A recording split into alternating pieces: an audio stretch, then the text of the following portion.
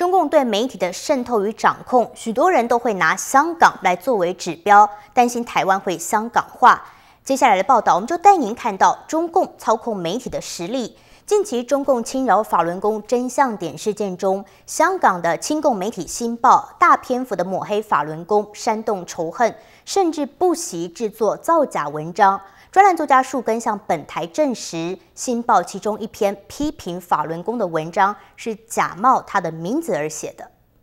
这篇名为《谁的街道谁来后》的专栏文章发表在《新报》的网页上，内文批评法轮功学员讲真相影响市容等。最近被揭发为造假文章，该篇署名作者香港资深撰稿人兼专栏作家树根否认写过这篇文章，质疑是《新报》冒名发表。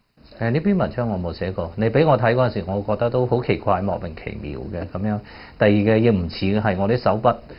他强调自己是基督徒，对法轮功的信仰表示尊重，绝对不会写涉及批评其他信仰的文章。但我通常咧，我唔会对嗰啲诶涉及宗教嘅组织咧，我从来我都唔会写嘅，因为我唔想我要尊重人哋个情况。树根担忧被冒名写文章的事件，不只涉及他一个人，还有其他专栏作家也有类似的情况。他强调，今次事件不仅对他个人声誉有影响。而且对香港新闻自由是一个危险的警号。新闻独立自主呢个嘢好重要嘅。